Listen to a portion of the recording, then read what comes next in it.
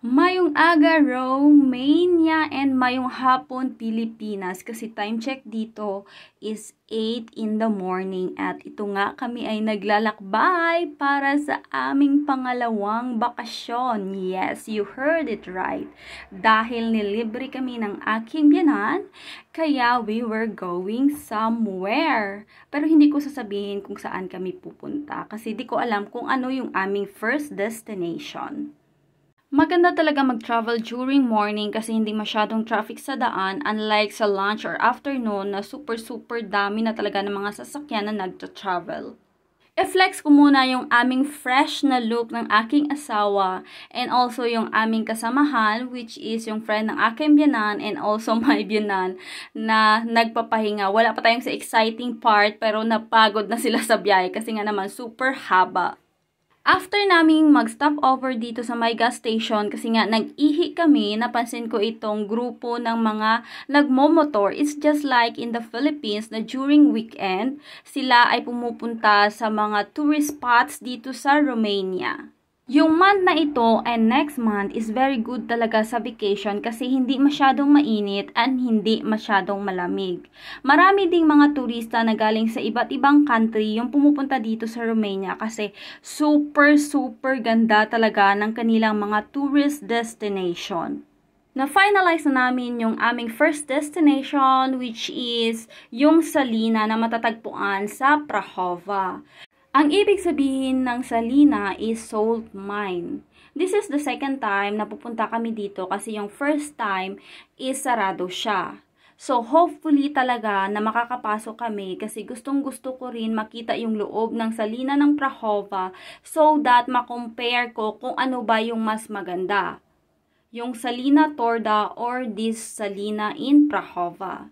Yung tao na nasa front, I don't know if it is a guard or a policeman, pero sabi niya sa amin is dediretso kami kasi wala nang available na parking slot doon sa loob.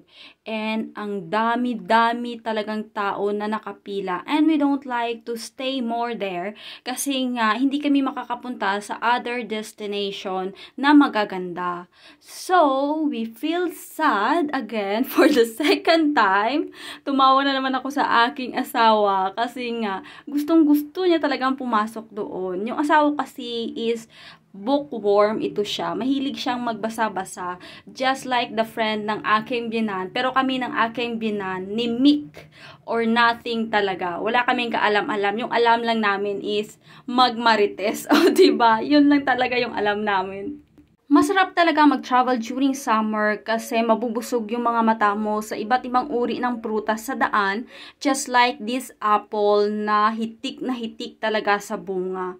And I like to have a friend na merong mga pag-garden dahil super kapal talaga ng aking pagmumuka. Kahit hindi kami nagkakaintindihan is kinakausap ko talaga. And at the end of our conversation is humingi ako ng prutas o gulay. O, ba diba? At at sila naman ay nagbibigay.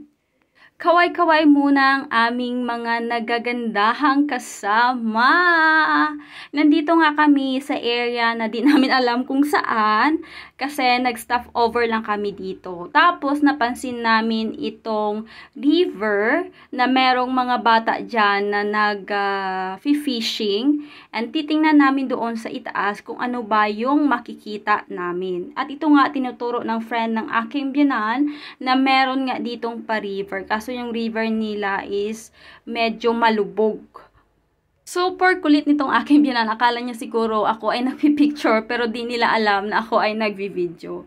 Dito kami dumaan sa may shortcutan paakyat kasi ayaw na naming dumaan sa may main entrance kasi baka wala doong parking area.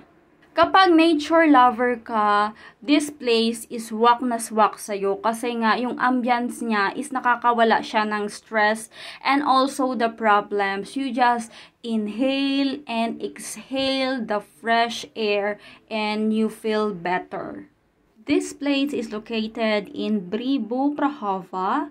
And dito matatagpuan yung Old Monastery or Bisirika. Hindi lang ako sure kung ano yung tawag nila doon Paakyat na tayo sa exciting part at si girl nga ay tumatakbo. Ala, birahi, dalagan, dalagan, dalagan. Hasta nga makadangat ka tira sa babaw ka mag Ala, ipataas ang kamot, ipagwa ang kilikili. Char lang.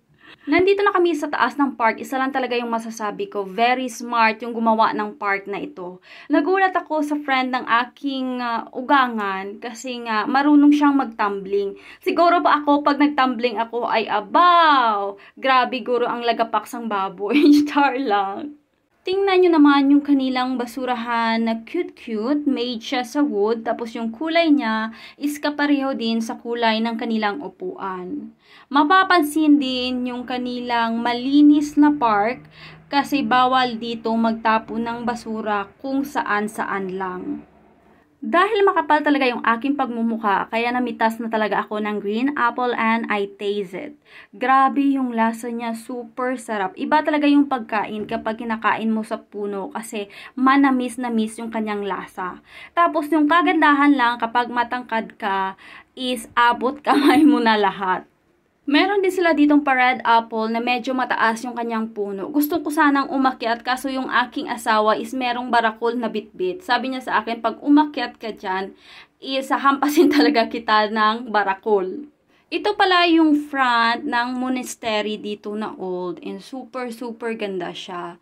Dati is nakikita ko lang siya sa mga movie but right now is hawak kamay ko na talaga siya. And yung asawa ko is nauna na doong pumasok sa loob dahil ako nga is nagvi-video and also nagpi-picture sa aming dalawang nagagandahang mga kasama. So, hindi pwede na ako ay mauuna doon. Ito yung kanilang maliit na museum at hindi na ako pumasok dyan. Bali yung pumasok na lang is yung aking asawa. Maraming tao din yung pumupunta dito dahil sa maganda yung kanyang view but mostly is mga old people. Ito pala yung nasa loob ng monastery. At yan yung kanilang paupuan. Hindi siya normal na upuan just like our religion sa Katolik na pahalang siya, ito is isa-isa yung upuan na nakadikit. Dahil sabi ko nga sa inyo, ako ay patay huya, kaya nilubos-lubos ko na talaga. Meron akong dalang plastic, tapos nilagay ko dito yung apple na aking kinuha. O, diba? Nakalibre pa talaga kami ng prutas for today's video. Ito pala siya yung pader ng monastery and look at it, ba? Super super ganda talaga niya. Yun lang muna sa ating paglalakbay kasi super haba nitong aking paglalakbay and masakit sa salalamunan. See you na lang sa ating part 2 which is going to the city of Sinaya. Don't forget to subscribe, like, and share!